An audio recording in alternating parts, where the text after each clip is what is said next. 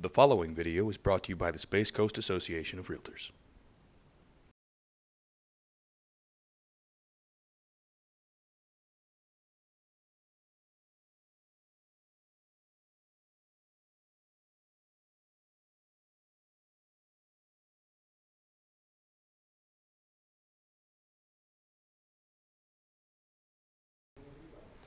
Okay, we're going to talk about the Prospect Manager program in Innovia. Uh, in order to access the program, you'll find a button over here on the right once you log in on the home page. And you click Prospect Manager. And that'll bring up your Prospect Manager. And you have three basic panels here. You have This is really where all the action is. The upper panel here where you have your prospects. And then you'll have your messages down here. And any showing information will, will be done here. Uh, in the next couple sessions about Prospect Manager, we're only going to really be talking about how you get your client information into the system and how you get them set up for the automatic notifications uh, when something comes on the market that matches their criteria or something that they've already been sent to in the, what do we call their prospect cart has a change to it. So in order to start out, you can see up at the top, you have a button that says Add. So you just click on that and that'll start the process. You go through about four or five different steps, and the first step is putting in the client's information. So you're going to put in the um, client's first and last name,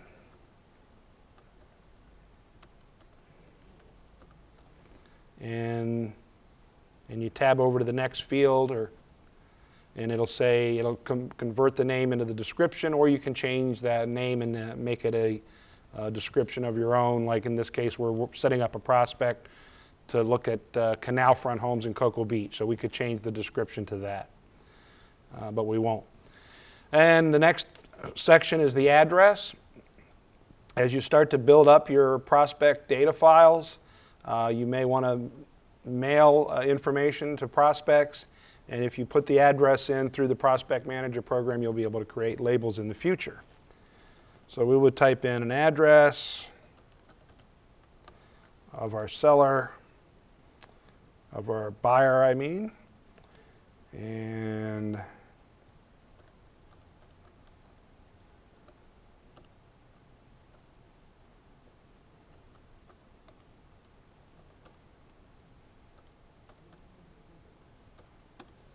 and then the phone numbers.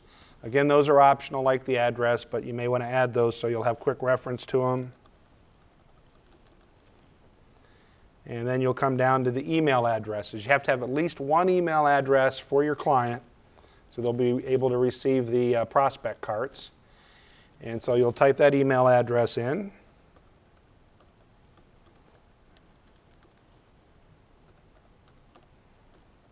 And you can see that you can have up to four different email addresses. So they could have a, you know, a, a work email that they want to get the link sent to, or a personal email that they want to get sent to, or maybe a spouse also wants to be receiving the link. So up to four different email addresses can be added per client. And you can create groups in your prospect manager. I've already created some, so you might have one group for lookers, one for investors, one for very serious buyers, and so on. Um, so just click the group that you want to put that particular prospect in. See how, check how many times, uh, how often they should be receiving the updates. And maybe you wanted to make it as soon as possible, or you can make it just daily or weekly or monthly. All depends on how serious your buyer is, how important they want to start looking at properties, and also how often they want to receive emails. They may not want to receive an email every 15 minutes or so, depending on how you've set your, your, your search criteria up. And you get over here to functionality, and you've got email me, email my prospect. And typically people will check both of them because they'll want to get the client and the agent to get the, the links at the same time. But sometimes, depending on your particular prospect, Maybe you don't want to be notified every time they receive a new email link. You can always go into Prospect Manager and look at their view of the cart. Uh, or vice versa, you may want to have the email links, the link sent to your email only, and then forward it onto their email after you've opened up the prospect cart and looked to see what listings are in there. So it depends on what kind of control you want to have. Choose your property type, residential, vacant land, commercial, etc. We're going to do a residential. And then we go over here and click Create Login. That creates a unique login for that particular prospect. Uh, they don't really need a login ID to open up the links, so they'll hardly ever have a reason to, to go to Innovia and log in because uh, they'll always just receive an email with the link in it. But it does identify that particular prospect within the Innovia system. You can create your own custom salutation. So, Dear John Doe, you could change to Dear Johnny if you're on a more of a first name basis with the customer. And then you create your own email message. Here are some great canal homes. Cocoa Beach. And then you can put in any personal notes in this section. So why are they buying? Um, you know, are they a first-time home buyer?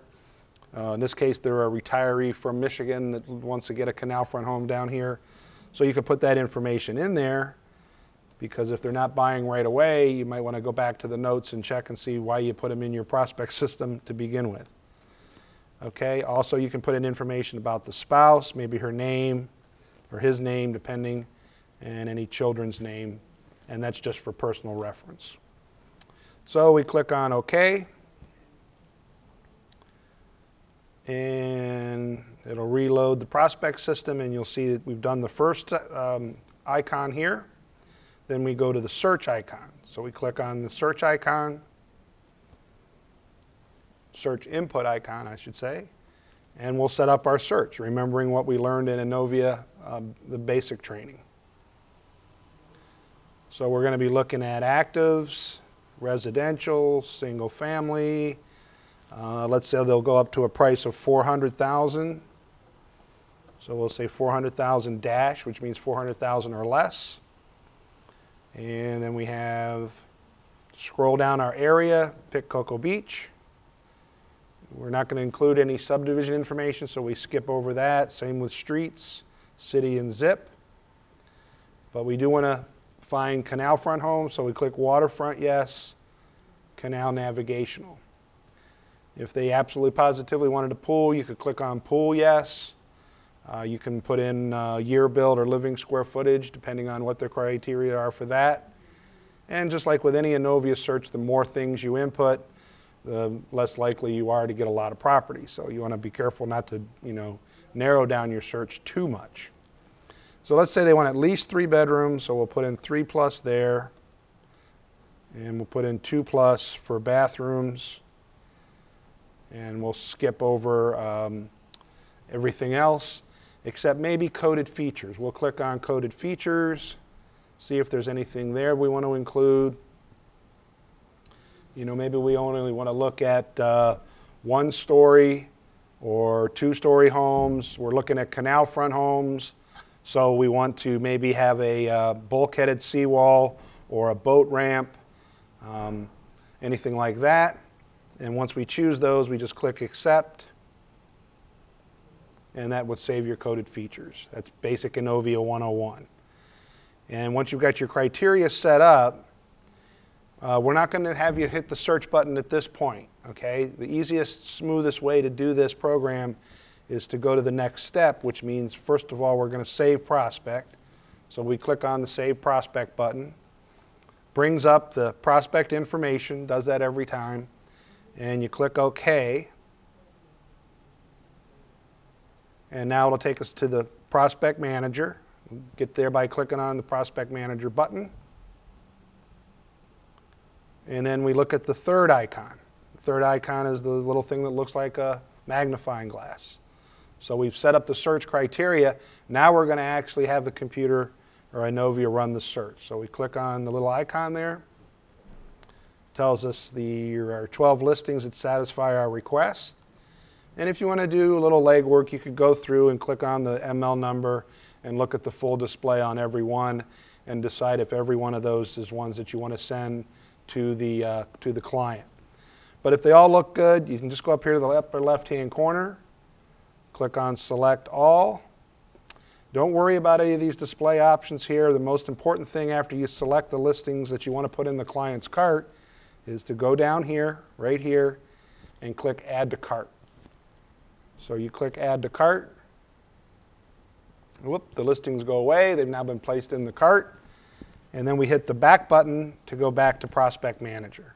So the steps we've done so far is we put in the client's information, we've put in his search criteria, we've run the search, and we've placed the listings in his cart. So now what we have to do is go ahead and email the client. So all we have to do is go over here to the envelope. Remember what we did with these different icons. We put in the contact, the, the client's information, contact information. We put in the search criteria. We ran the search and put the listings in the cart. And so now we're going to email them. So you just click on the envelope. And the email box will come up. And it's already set up to be sent. So you can go down here simply and click on send. Okay? When sending it that way, when sending the cart that way for the initial time, the client will not be allowed to respond to that particular email because it's being sent from the Innovia system. So if you have Outlook, if you use it with Roadrunner or whatever, then you can click on My Email and it'll bring up the Outlook program with the link in it. That way you can use your own email program, put in your, uh, the customer's email, put in your own subject line, uh, type into the, the body the information that you want to send to them, explaining how to click on the link, etc. That way they would be able to respond to your own email. You would also find out if the email didn't go through because you'd get an error message. You don't get an error message with the send button. But uh, in our particular example, we're just going to hit the send button. Your message has been sent. And so now that email with the link to the prospect cart is sitting in the client's email. So if you did check at the very beginning, uh, email me, email my client, you would be getting the link also at the same time, so you could log into your own email and take a look at, the, uh, at what the prospect sees. Or simple enough, you can go here to where the little shopping cart is and actually see a view of the client's cart. So you click on that. It brings up a view of the client's cart. And you can see that it's got a nice little banner here that uh, you'll be able to customize one day. You've got your contact information over here on the left. You've got your uh, email address. If you had a web page, you'd have your web page here, phone number, fax pager, all the things that we would have in your agent profile in the MLS. So here's your um, list of properties that we had. This is a good opportunity to call your client, make sure they got the email, got the link, know how to open it up. And then you want to go through and explain to them how to see more photos. So they just click on the More Photos button. And then they can hit the next button or just cursor over each particular property photo. Look at them over and over. They can get the more details, click more details, which is basically the customer display that you would email the client, branded with your contact information, not the listing agent's information. Okay, and anytime there's a change to the listing, such in this case price reduced, it'll have a nice little blurb here. Okay, the listing is no longer available once it enters the cart. You know, it expires, it goes pending, it sells or whatever. It'll say this listing is no longer available. Okay, so you'll know that the client can go ahead down here and click remove that listing. They can print the details. They can email the details. So if they want to send this particular listing to a friend and say, hey, what do you think about this property? They can simply click on email the details. They can schedule showings through the prospect cart. You will receive an email uh, when that happens, if the client wants to show, see that particular property, you can then respond to the email, and all of those back and forth will show up in the comment section that I mentioned at the very beginning within the Prospect Manager. The client can view and edit comments. This is one important thing that you want to point out to them. You'd like to see them in the cart doing things, which means looking at the videos, looking at the pictures, reading the text, and you want them to comment on the properties. And so they could type in a comment back to you like, looks great, how deep is canal? And they can start communicating with you through the prospect um, program. They can even rate the listings. Kind of want to show them how to do that. They just drag and put the stars in for the listings that they like, one to five stars. And when they're all done, they click Add Comment. And then that will come to your email. And you can locate on the map.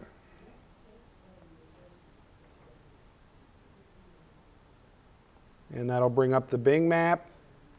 And they can change it from the street view to the bird's eye view. So in our case, we're looking at uh, these canal homes. We want to see how they look on the canal. Just roll your mouse to scroll in or scroll out, or use the plus and minus signs.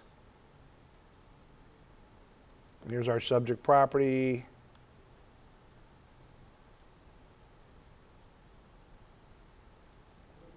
And you can just pan the map by dragging the mouse over. So they can look at other properties around the subject property. They can add it as a favorite. Um, we don't have the text agent capabilities right at this moment, but we will have that eventually. So you click on uh, Add Favorite, and now that'll show in your view of the cart that they like that one as a favorite. Okay. Ones that have a virtual tour, you can click on Take a Tour, watch the virtual tour that they have. Uh, as they look through here, if they see one that they don't really like, they can just click Remove and remove that listing from the cart altogether. Now on your view in the Prospect Manager, which we're going to look at in a second, you can place that listing back in their cart. Only you can delete a listing completely out of the cart. Um, there's now 500 maximum properties that can be in a cart at any given time. So you might want to go through and uh, talk to your client and find out and show them how to remove listings from the cart uh, if it starts to get to where they've got a lot of properties in there. Again, they can add ones as favorites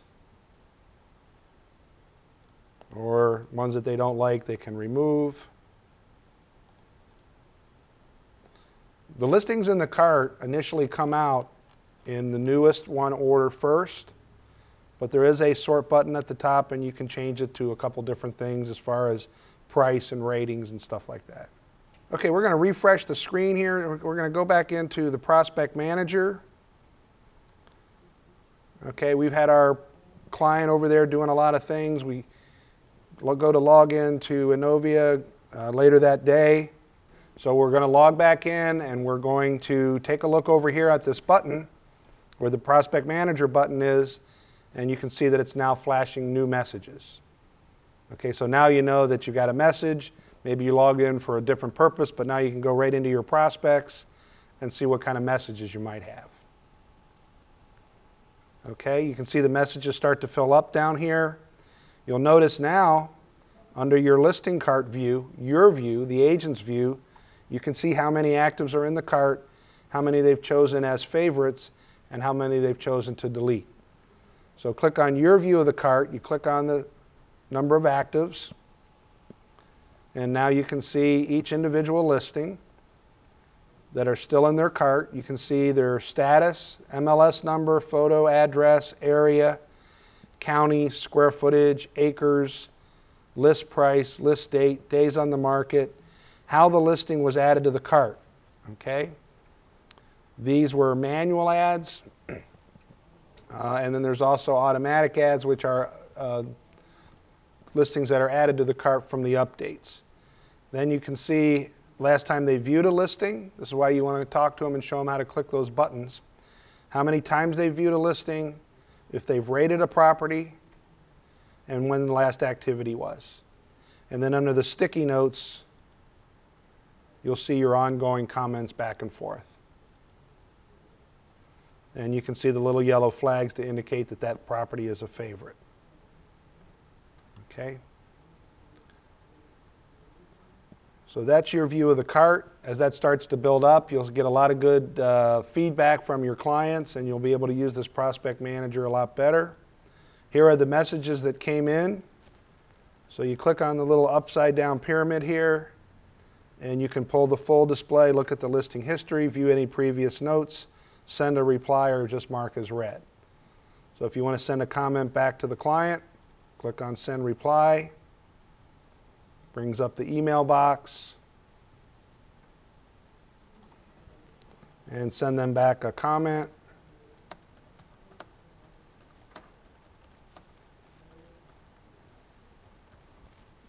And click save. And now they'll get that email back. Okay? So, we go to the next one, and you can just mark it as read, send a reply, view notes, etc. And then if you ever hit the refresh button after you've looked at your messages, it'll clear out the ones that you've seen already. And that works out well. Upcoming showings, uh, if they've scheduled any showings, they'll start to show up here. Well, we cover that in a, in a later class. Then you've got some buttons up here that are kind of new. Uh, we've got the add button, which we've already used, the filter, once you start building up your client list, you get a couple hundred people in here, you may want to filter them out by the different ways that you can filter. You can filter them by property type, whether they're active or inactive, filter them by any of the groups that you made, uh, filter them by name.